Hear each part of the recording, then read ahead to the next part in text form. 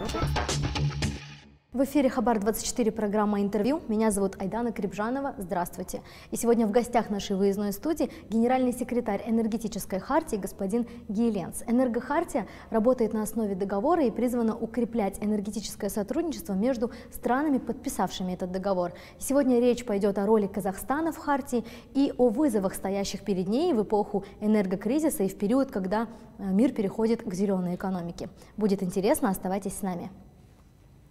Uh, uh, Спасибо большое, господин Лэнс, за согласие побеседовать с нами. Давайте, пожалуй, начнем с казахстанской повестки. Итак, договор энергетической хартии был подписан и ратифицирован Казахстаном ровно 27 лет назад в октябре. С тех пор наша страна активный член Хартии, продвигающий свои инициативы для ее развития. Как вы оцениваете роль Казахстана в этой работе? Thank you, thank you for welcoming me Спасибо большое за приглашение на интервью. Отвечая на ваш вопрос, отмечу, что Казахстан с самого начала очень важный игрок договора энергетической хартии. Как вы знаете, инициатором энергохартии был голландский премьер-министр. Это было время холодной войны. Еще не распался Советский Союз. И это было время перемен. Как мы видим сегодня, история повторяется и циклично. Запад нуждался в диверсификации поставок энергоносителей, а Востоку нужны были инвестиции. В этом контексте Казахстан после установления независимости стал одним из важных акторов Хартии, очень активным на встречах, а также в вопросе продвижения своих инициатив. Это было именно предложение Казахстана проводить конференции энергохартии в странах-членах договора. И одна из первых таких конференций прошла в 2014 году в Астане, когда страна председательствовала в энергохартии.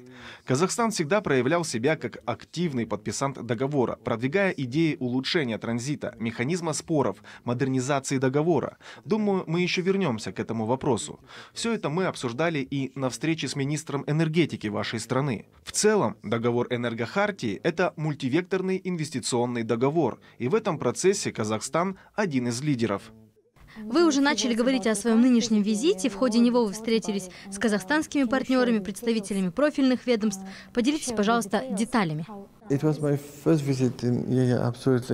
Uh, да, это мой первый визит в Астану. У нас прошли очень интересные встречи со всеми заинтересованными лицами, инвестиционными компаниями Казахстана. У нас была возможность поговорить с представителями ваших энергетических компаний. В ходе встречи с министром энергетики мы обсудили вопросы взаимодействия в области энергетики и отметили успешное завершение переговорного процесса по обновлению договора к энергетической хартии. По плану мы продолжим совместные работы для дальнейшего укрепления взаимовыгодного международного энергетического сотрудничества.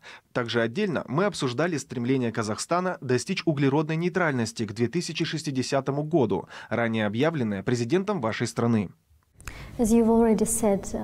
Сегодня мы видим, что мир столкнулся с новыми геополитическими вызовами, с энергокризисом. Особенно серьезная ситуация в Европе, страны которые являются членами энергохартии. В этой связи с какими проблемами столкнулась в 2022 году Хартия и какие пути разрешения вы видите? Я бы не назвал это проблемами, а скорее большими вызовами. Вы знаете, из каждого кризиса можно вынести уроки, и этот кризис не исключение. Одним, наверное, из главных уроков этого времени можно назвать энергозависимость Европы. Это так называемая объективная реальность, связанная с геофизическими возможностями региона. Отвечая на ваш вопрос, отмечу, что один из путей разрешения сегодняшнего энергокризиса в рамках договора – это расширение партнерских связей по альтернативным альтернативным маршрутам. Мы стараемся быть так называемым мостом между членами договора, а это на сегодня 53 государства. Мы работаем сейчас с Украиной в рамках сотрудничества по восстановлению энергетического сектора страны. Продолжим эту работу и дальше. Это то малое, что мы делаем сейчас для разрешения энергокризиса. Не раз поднимался и вопрос о модернизации договора Хартии. В этом процессе участвуют все страны-члены, в том числе и Казахстан. Как вы оцениваете этот процесс и что изменилось за последние годы в работе энергохартии?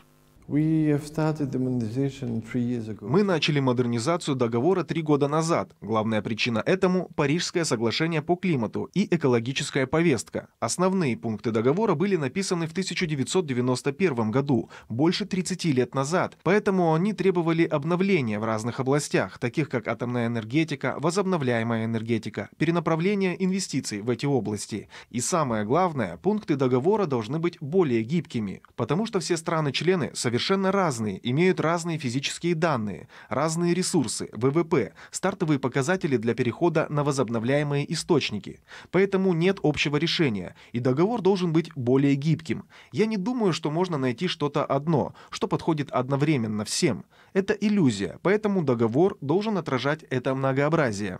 Yes, and as we can see today uh, from the high tribunes, Да, с высоких трибун ООН страны заявляют о важности перехода к зеленой экономике. Мир ежегодно сталкивается с еще большим числом экологических катастроф.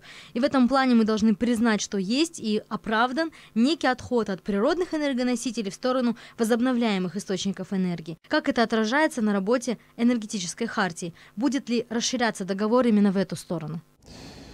Now the fact is that we know now scientifically Научно доказано, что использование полезных ископаемых увеличивает содержание СО2 в атмосфере, что критично складывается на экологии планеты, а это будущее наших внуков и правнуков.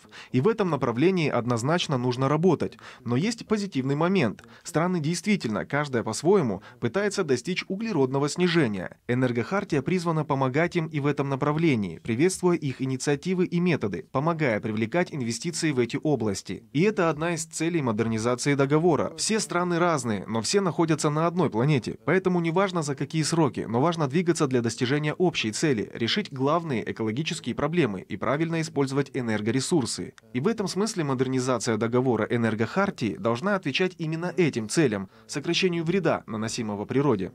Kazakhstan Казахстан в своей миссии в энергохартии продвигает защиту и поощрение инвестиций, разрешение инвестспоров и удобный транзит энергетических ресурсов. Каким вы видите будущее сотрудничество Казахстана в рамках договора?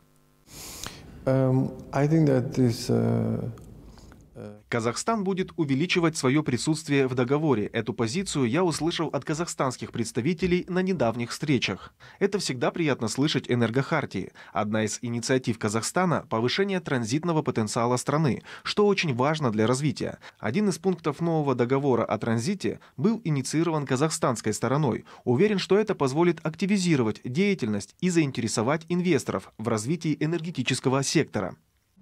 Thank you, Mr. Спасибо большое, господин Лэнс, за уделенное время, интересную беседу. Удачи вам в работе. Good luck in your...